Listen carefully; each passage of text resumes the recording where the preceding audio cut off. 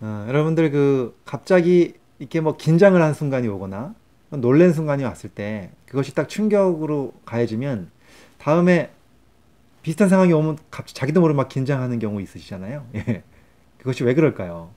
바로 우리 마음의 구조를 이해하면 그런 것들을 충분히 아실 수가 있고 마음의 구조를 이해하는 것이 바로 우리가 스스로 치유하는 굉장히 중요한 첫 번째 단계일 수도 있습니다. 자, 오늘 마음의 구조에 대한 이야기 말씀드릴 건데요. 이것이 궁금하시다면 이 영상 끝까지 봐주시고요. 네, 그리고 좋아요, 구독 눌러주시는 거 잊지 않으셨으면 좋겠습니다. 감사합니다.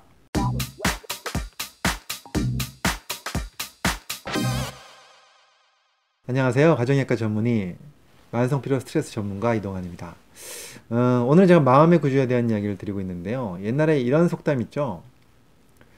자라보고 놀란 가슴, 소뚜껑 보고 놀란다 라는 말이 있습니다. 이게 딱 그 얘기예요. 마음의 구조에 대한 이야기인데요. 깜짝 놀라면 자라를 보고 놀랐으면 마음속에서는 어, 소뚜껑하고 비슷하게 생겼잖아요. 네, 그래서 비슷한 걸 보면 이제 놀랄 준비를 시켜놓는 거예요. 그 바로 누가 시켜놓느냐? 어, 내가 가지고 있는 마음 속에서 내가 의식하지 못하는 밑에 있는 마음이 있습니다. 바로 그 마음이 우리는 무의식이라고도 얘기하고 또 뭐 꼭 똑같은 뜻은 아니지만 이제 같은 유사한 뜻으로 그냥 흔히 얘기할 수 있는 게 바로 잠재의식입니다. 같이 혼용해서 쓰셔도 되는데요. 잠재의식 속에서는 그것을 한번 놀라면 어, 딱 그것을 각인시켜 놓는 거죠. 그래서 그 다음에 비슷한 걸 보면 빨리 놀라게끔 만드는 거예요. 근데 이것이 참 왜 이런 자격을 우리가 몸속에서 그러니까 우리의 마음이 우리를 위해서 이렇게 하는 걸까요? 사실은 우리를 보호하기 위해서 하는 겁니다. 사실은 왜냐하면 똑같은 것을 봤을 때 어, 놀라게끔 해서 주인을 경각심을 불러일으켜서 다치지 않게끔 하려고 하는 작용이에요. 이 잠재의식은 사실은 주인을 위해서 충성하는 중입니다. 근데 이것이 너무 과도하다 보면 우리를 괴롭히게 되죠. 어떻게 괴롭히냐면 비슷한 거 보면 자꾸 놀래니까요. 그리고 뭐 이제 발표 불안 이런 것도 마찬가지예요. 예, 사람들 앞에 쓰면 어렸을 때 사람들 앞에 서갖고 좀 창피당한 예, 그런 경험이 한번 있는 사람들은 잠재의식 속에 그것이 꽉 잡혀 있어요. 그러다 보면 어떻게 돼요? 그렇죠. 예, 잠재의식이 그런 상황만 오면은 주인을 깨워요. 그래서 지금 긴장해야 됩니다. 예, 신경 써야 됩니다. 그러면 자기도 모르게 막 가슴이 두근두근 뛰고 식은땀이 나고 긴장을 하게 되는 거죠. 사실은 이런 잠재의식은 우리를 보호하려고 하는 거예요. 근데 이것이 문제가 생기는 거죠. 왜냐하면 잠재의식이 이제 더 이상 보호 안 해도 되는데 자꾸 그런 상황만 되면 나를 긴장시키기 때문에 나를 괴롭히는 경향이 돼버리는 거죠. 옛날에 이제 제가 읽은 책 중에서 이런 환자가 있었어요.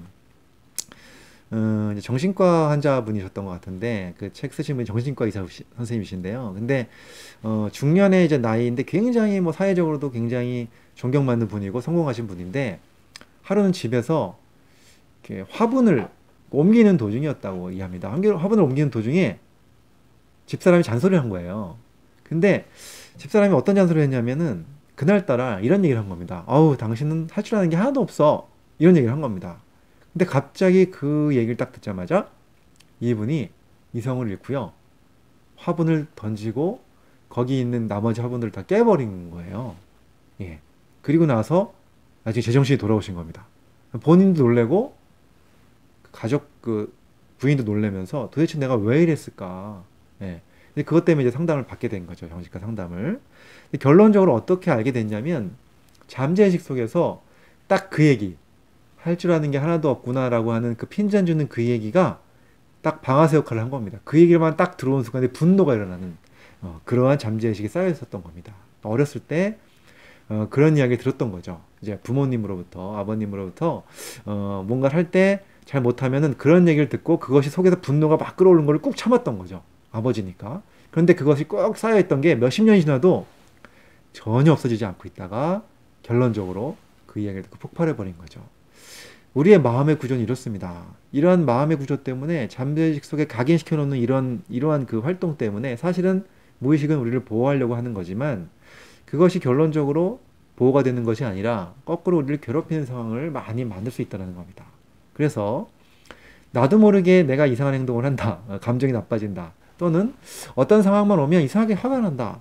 어떤 상황만 오면 긴장이 된다. 그런 경우는 나도 모르게 내 잠재의식이 나를 보호하려고 작용하고 있다는 사실을 빨리 깨달으셔야 됩니다.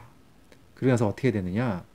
어, 그 상황을 사실 떠올리면 좋아요. 이제 혼자 떠올리기 어려우면 사실은 상담받으면서 떠올리잖아요. 많은 심리, 심리 상담사들과 함께 또는 뭐 체면요법을 통해서 떠올리는 분들도 계신데 아무튼 그런 것들 떠올리시든 아니면 혼자서 자기 마음속을 자꾸 들여다보시면서 어떤 것들을 이제 기억해내시든 어, 그런 시간들을 가지셨고, 가지셔야 좋고요. 그리고 꼭 중요한 게 하나 있습니다. 마지막으로 그런 시간을 가진 다음에 잠재의 시간 때 대화를 하실 수 있어야 돼요. 그래서 잠재의 시간 때 고마움을 표현하고요. 이제는 더 이상 그러지 않아도 내가 괜찮다. 이제는 그냥 놔줘도 된다. 이런 식으로 자기의 그 잠재의식과 화해하는 시간, 그런 시간을 갖는 것은 치유가 되는 굉장히 중요한 순간으로 발전하게 됩니다. 실제적으로 심리 상담을 하시는 많은 분들이 어, 환자들의 그 내담자들의 그 심리 상태를 깊이 깊이 들어가다 보면 잠재의식을 알게 되고 그것을 깨닫는 순간 그리고 화해를 하는 순간에 자기의 잠재의식과 본인이 직접 화해를 하는 순간에 많은 눈물을 쏟아내는 분들도 있다 그래요. 그러면서 정말 치유의 힘이 오고요. 그 다음에는 정말 신기하게도 그런 증상들이 많이 호전되는 예, 그런 상황들이 많이 생기기도 합니다. 아무튼 오늘 이런 마음의 구조에 대한 이야기를 드렸는데요. 이 잠재의식이 있다는 사실, 무의식이죠. 이것이 있다는 사실. 그리고 이 무의식은 나를 보호하기 위해서 어떤 사건들을 각인해 놓는다는 사실. 이런 사실들을 우리가 잘 알고 대처할 수 있다면 우리는 좀 더 건강해질 수 있고 좀 더 행복해질 수 있는 그런 여러분이 되실 것 같습니다. 자, 오늘은 여기까지 하고요. 다음에는 또 더 어, 재미있고 건강한 이야기 가지고 찾아오겠습니다. 감사합니다. 이 강의가 도움이 되셨다면 좋아요, 구독, 알림 신청 해주시면 감사하겠습니다.